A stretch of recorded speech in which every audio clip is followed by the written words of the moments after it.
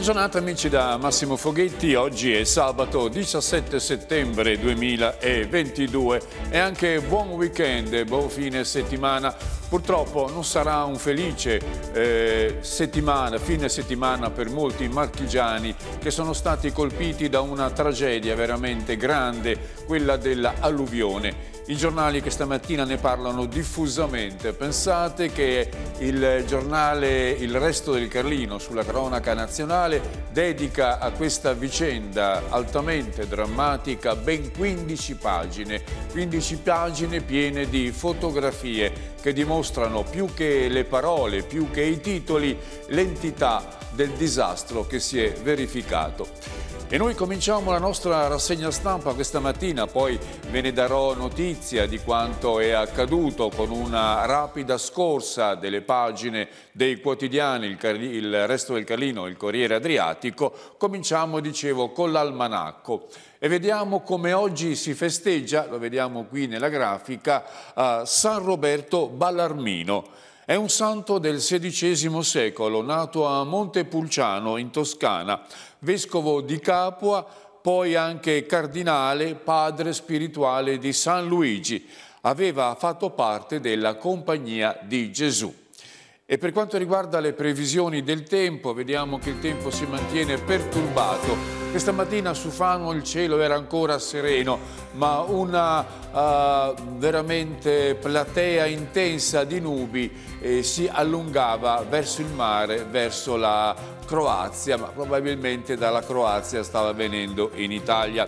Ondata di forte maltempo, dice il, la previsione del tempo, tra mattino e pomeriggio su tutte le marche con temporali e intense raffiche di vento. Il calo termico Uh, le temperature si aggireranno tra i 15 e i 24 gradi, sensibilmente in, in, una fascia minore rispetto ai giorni scorsi, il mare rimane fortemente agitato. Ebbene, detto questo, vediamo subito quanto vi ho preannunciato per il modo con cui i giornali riportano le notizie sull'alluvione. Il coraggio è il titolo che appare sulla prima pagina nazionale del resto del Carlino, il quotidiano nazionale. Vediamo qui quanto si riferisce pioggia eccezionale. Vediamo una donna coperta di fango che sta strizzando uno straccio col quale tenta di pulire quanto è rimasto oh, nella sua casa che è stata veramente invasa dal fango, dalla melma. Apriamo le pagine. Tsunami di fango, la strage delle famiglie sembrava l'apocalisse. L'alluvione mette in ginocchio le Marche, una decina le vittime, poi ci sono anche tre dispersi. Interi paesi spazzati via, tre dispersi, anche un piccolo di otto anni. Sono due i bambini che sono annoverati tra i dispersi. Vedete qui ecco le immagini significative di quanto accaduto, un papà con la figlioletta in braccio mentre attorno a lui non c'è che altro che distruzione, eh, alberi caduti, fango dappertutto, insomma una pala con cui si cerca di iniziare subito i lavori di ripristino. E poi l'urlo disperato di Simone, madre e sorella inghiottite, tutto davanti a me un incubo. Si tratta di un 23enne che voleva portare via la propria auto, voleva salvare insomma la macchina dal fango. Ebbene, è rimasto appeso a un tronco per due ore non so se le rivedrò più, ha detto, perché poi la mamma e la sorella sono state portate via dal fango, un dolore senza fine. Bronella Chiù di 56 anni e Noemi Bartolucci di 17 anni sono appunto le eh, vittime di questa vicenda. E poi ancora, Mattia trascinato via a otto anni, a otto anni, pensate, strappato dalle braccia di mamma. Lei si salva tenendosi a un ramo, ma non ha potuto far nulla per evitare che il figlio fosse trascinato via dalla piena. Lo strazio della farmacista Silvia Mereo, recuperata a un chilometro di distanza, il piccolo è tra i dispersi. E ancora Diego e le lacrime di Romina, non è più riuscito a risalire, spazzati via tutti i nostri sogni, le vite veramente spezzate da questo dramma, da questo dolore. Una famiglia cancellata, padre e figlio annegati nel garage, volevano recuperare l'auto. Tutto questo è accaduto praticamente in provincia di Ancona, ma per quanto riguarda la provincia di Pesaro ha sofferto in maniera drammatica Cantiano. Lì il temporale, la bomba d'acqua si è abbattuta con grande intensità. Poi invece di scendere giù nella costa verso il Furlo, verso Fano, ha deviato verso eh, Castelleone di Suasa e quindi la, verso il Cesano dunque e verso la provincia di Ancona. Un appello disperato su Facebook, correte, mio nonno in trappola, ma i soccorsi arrivano tardi e quando arrivano l'uomo, l'anziano, era deceduto. Aveva compiuto da poco 80 anni. E poi qui c'è una ricostruzione di come si è formato questo intenso ed eccezionale temporale. Il temporale autorigenerante, un gigante che porta distruzione. Vedete qui in questa grafica come il calore solare ha generato una corrente di aria calda che è salita verso gli strati alti dell'atmosfera. Qui il vapore acqueo ha raggiunto i livelli alti della troposfera e si è concentrato in enormi strati densi e carichi di queste celle, di queste eh, eh, dette celle. L'altezza è quella di 10-15 chilometri in alto appunto nel cielo. A questo punto però hanno avuto la loro azione i venti in quota. Il vento in alta quota ha spinto le masse nuvolose verso la terraferma e qui si è creata la perturbazione grazie allo scontro con le masse d'aria uh, più fredde, quindi veramente qui si è generata quello che molti chiamano anche la tempesta perfetta, una bomba d'acqua uh, che ha fatto precipitare eh, millimetri, millimetri, ormai anche qualcosa di più, eh, di acqua molto superiore di quanto magari se ne, se ne cade eh, in un anno intero e questo in pochissimo tempo eh, in pochi minuti. Ecco perché si è verificato tutto quanto abbiamo detto. Chiudiamo il resto del Carlino con la pagina nazionale e apriamo invece quella con, con cronaca locale, ma vediamo pressappoco le stesse immagini. Fango e distruzione come uno tsunami è il titolo che appare nella prima pagina del Carlino, edizione di Pesaro. Dopo il diluvio, Cantiano devastata, a pergola e cagli, ponti crollati e famiglie evacuate. Ovviamente il resto del Carlino di Pesaro si concentra su quanto è avvenuto nella nostra provincia, mentre a livello nazionale si parla diffusamente di quanto è avvenuto a Ostra, a Tre Castelli, insomma a tutte quelle località della provincia di Ancona dove il temporale si è abbattuto con grande intensità. E vediamo anche qui le foto del disastro che si è verificato, macchine ribaltate, eh, sono masse di rifiuti, di, di, di legname che si è addensato sotto i ponti e ha così spinto le acque a dilavare sulle sponde dei corsi d'acqua.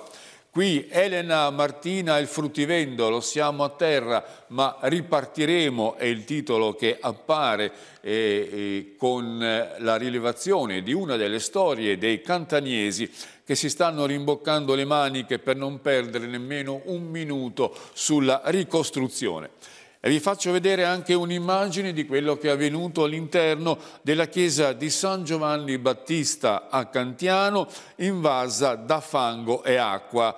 Ovviamente tutte le panche sono andate distrutte, l'acqua si è, è, penetrata fino ad un'altezza di un metro e mezzo, tutti i banchi e gli inginocchiatoi sono un ammasso indistinto e credo che siano anche irrecuperabili.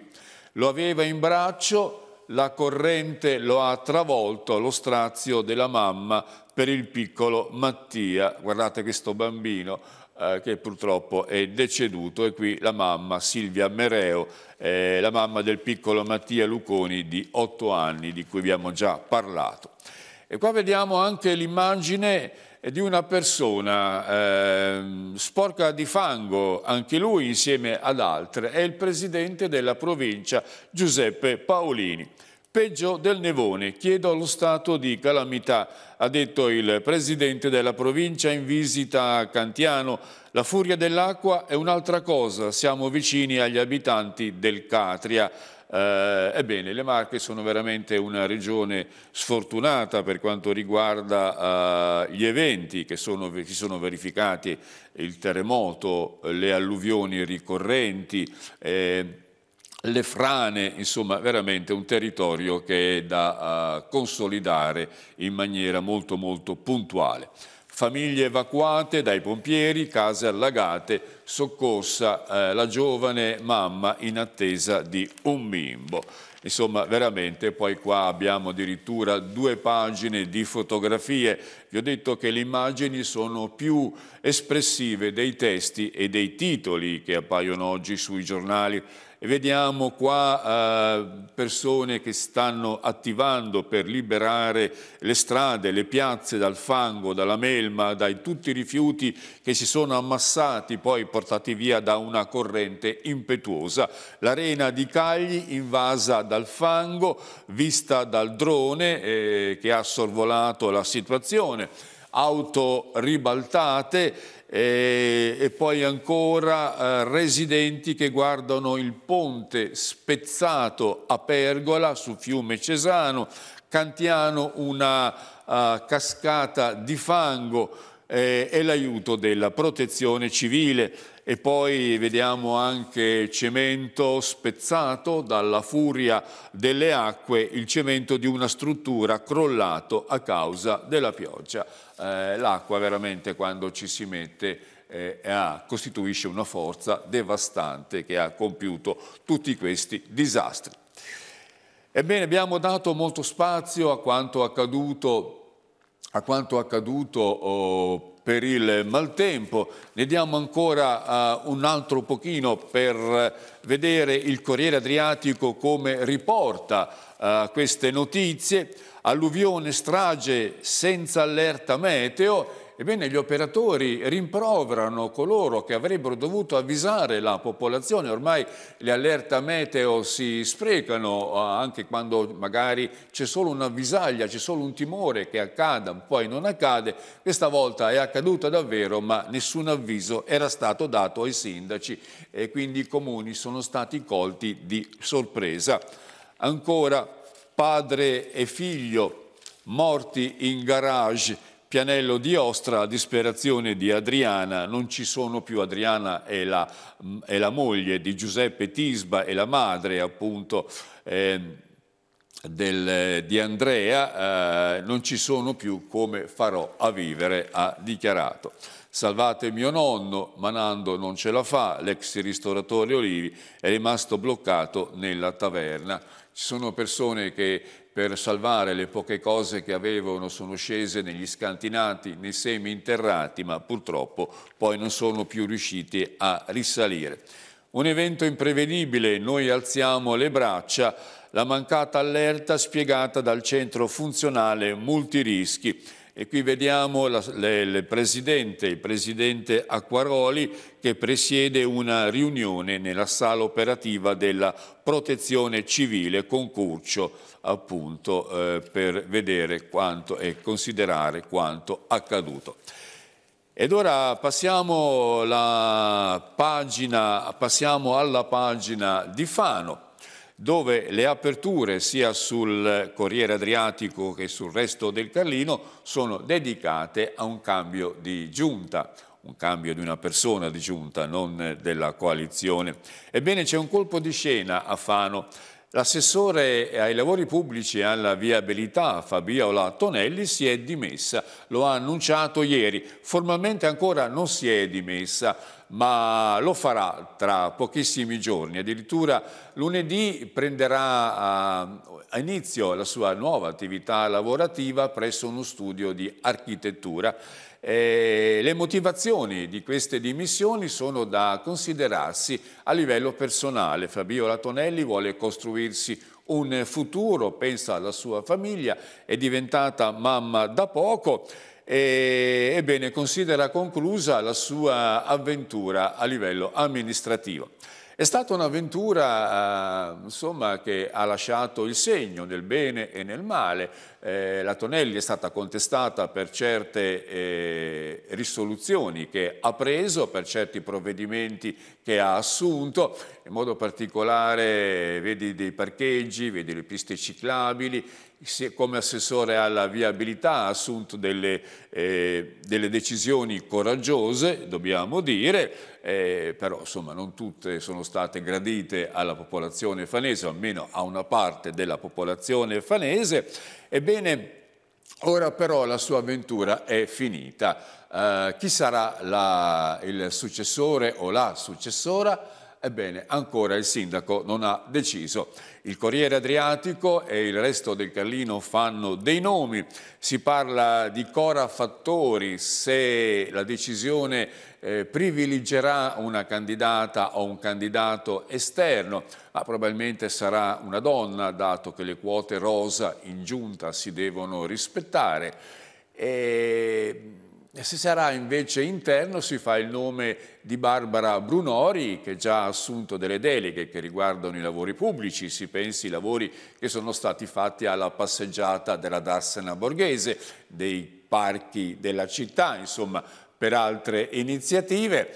Eh, il Carlino fa anche il, il, nome di Edoardo Carboni, che è il capogruppo della forza politica eh, che, a cui appartiene Fabio Latonelli, noi giovani, eh, però insomma il Corriere Adriatico questo lo esclude in quanto dice che è più probabile, ma siamo, più probabile che sia una donna, ma siamo sempre nel campo delle supposizioni. La decisione dovrebbe comunicarle il sindaco dopo il 25 di settembre, ovvero dopo le elezioni di carattere politico.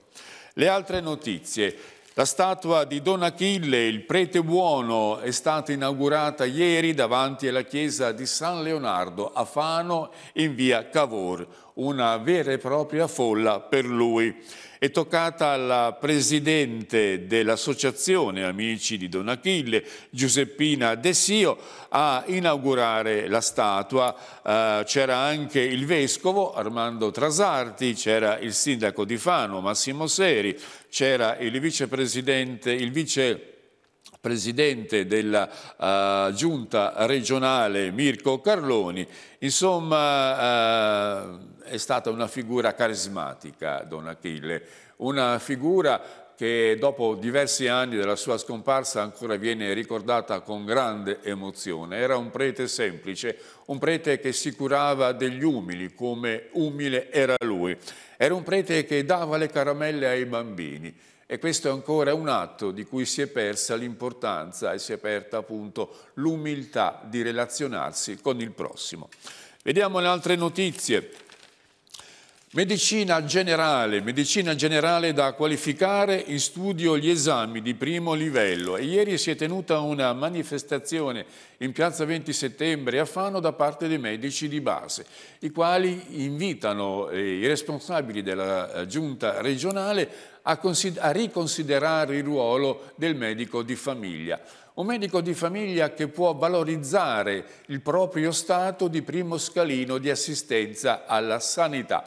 Perché? Perché lo studio medico del medico di famiglia può costituire veramente il primo presidio di assistenza sanitaria se verrà dotato di tutti quegli strumenti necessari per una cura di primo livello. Sono strumenti eh, diagnostici che possono individuare, che possono così convalidare le diagnosi che vengono fatte eh, così a livello di, di, di, impressione da parte del medico e, e, che quindi possono evitare tanti ricoveri magari eh, così che non sono molto giustificati oppure eh, delle visite al pronto soccorso. E si possono soprattutto evitare lungaggini eh, per quanto riguarda la mobilità passiva uh, per fare degli esami, uno deve andare magari a Urbino, a Pergola oppure addirittura lontano in altri ospedali delle Marche. Se questi esami si possono fare nello studio del medico di famiglia, pensate quanti progressi potrebbe eh, effettuare la medicina di base. Ne parla il segretario della Federazione Italiana Medici di Medicina Generale Massimo Maggi che ieri è stato presente con una sua equipe che ha poi praticato questi esami diagnostici con due eh, due mezzi attrezzati a livello medico in piazza 20 settembre a Fano, ma lo hanno fatto anche in altre cittadine delle Marche, come a Castelfidardo. Miss Italia è stata annullata, la sfilata delle ragazze, per quanto accaduto oh, come tragedia in tutte le Marche, al via oggi le prefinali a porte chiuse, sono state annullate le sfilate, non si sa ancora se si farà qualcosa domani, comunque anche oggi. Tutte le manifestazioni di carattere pubblico erano uno spettacolo, quello che era stato allestito, tanto che c'è un palco ancora nella zona del Pincio dove avrebbe dovuto svolgersi uno spettacolo, ebbene è stato annullato, è meglio così considerare con silenzio quanto è avvenuto a lutto nelle Marche. La ventilazione meccanica all'asilo e alla scuola media, ebbene anche le scuole elementari e medie si attrezzano, si attrezzano a San Lorenzo in Campo, il nuovo anno scolastico inizia con 10 nuovi impianti, una tecnologia prevista anche nella scuola primaria.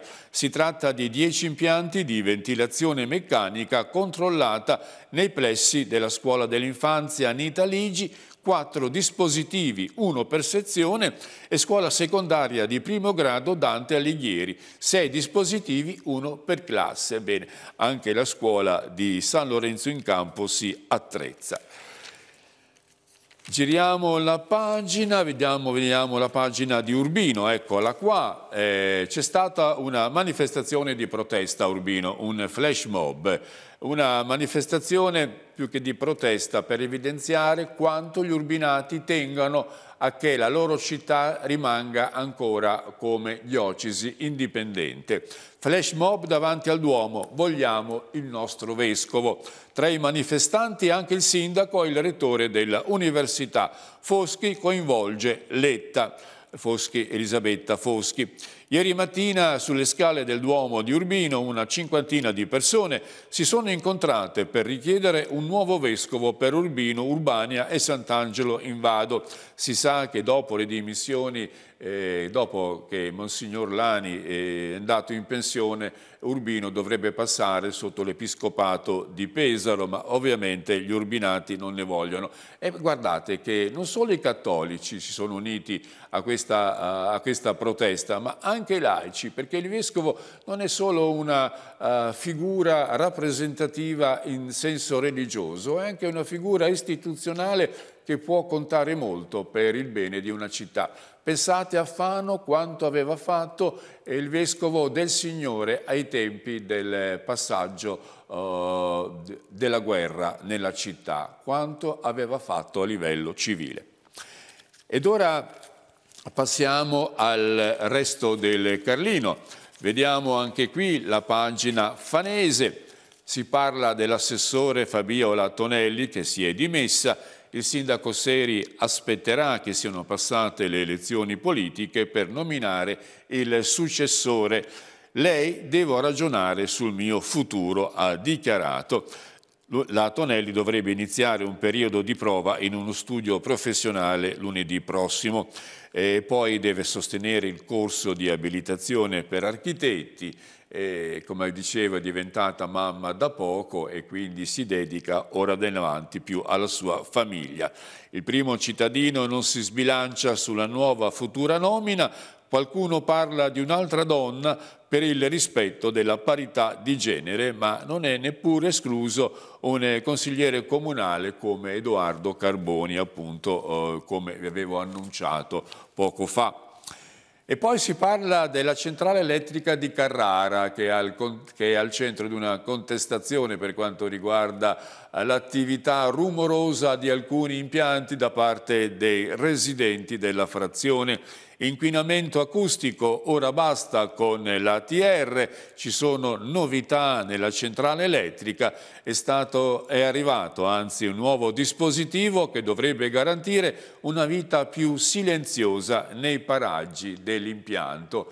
E poi tra poco si parlerà anche delle opere compensative che Terna si è mostrata disposta a realizzare a compenso appunto del, dei problemi che crea la centrale elettrica a Carrara, una centrale importante per il trasferimento dell'energia elettrica dal nord al centro Italia e quindi al sud. Un lungo articolo per quanto riguarda le selezioni di Miss Italia viene pubblicato oggi sul Resto del Carlino. L'organizzazione si è mostrata profondamente scossa per la tragedia del nubifragio, oggi nessun avvenimento con risvolti mediatici, insomma ci sarà soltanto silenzio. Eh, Patrizia Mirigliani, che è appunto la patron dell'iniziativa, si è consultata con Comune e Regione, attesa per cosa avverrà nella giornata di domani, ancora non si è deciso, forse, forse si salverà qualcosa. E intanto il Teatro della Fortuna di Fano eh, apre il botteghino per fare gli abbonamenti, la la Capiena tornerà finalmente a pieno regime, ecco costi e date. La Capiena, cosa vuol dire la Capiena? Non si sa, però insomma si sa che il teatro ha una bellissima stagione di prosa e quindi chi vuole seguire questi spettacoli può fare l'abbonamento. Abbonamenti che sono sempre in crescita per quanto riguarda l'attività teatrale del Teatro della Fortuna, che è sempre in crescita ed è sempre al centro di iniziative interessanti dal punto di vista culturale. Salute a chilometri zero con i medici di famiglia. Gli aderenti alla Federazione Italiana Medici di Medicina Generale hanno fatto esami ai cittadini, eseguito elettrocardiogrammi, dato consigli utili per la prevenzione, sono stati fatti anche esami ECG, spirometria, misurazione pressione arteriosa, determinazione dell'HBA, il quadro lipidico, il PCR, eccetera, eccetera. Sono quegli esami che monitorano un po' lo stato di salute eh, con l'andare del tempo, specialmente per quanto riguarda le persone anziane. E vediamo anche qualche notizia di sport. Oggi, dato che siamo nel weekend, Vediamo sul Corriere Adriatico, forse c'è un segreto, la Vis ha un sentimento, intitola uh, in prima pagina sullo sport. Mister Sassarini, l'allenatore della squadra, insiste soprattutto per eh, spiegare il secondo posto eh, della squadra. Anche il Fano, il Fano cambia il baby Rigione con Furlani Junior, è una, così, un provvedimento che è stato assunto in previsione della prossima partita. E questo è tutto per oggi. Massimo Foghetti vi saluta, vi dà appuntamento alle 7 di lunedì prossimo e per quanto riguarda le notizie al TG di questa sera alle ore 20.30. Questo è tutto, ancora una buona giornata e un buon weekend. A risentirci.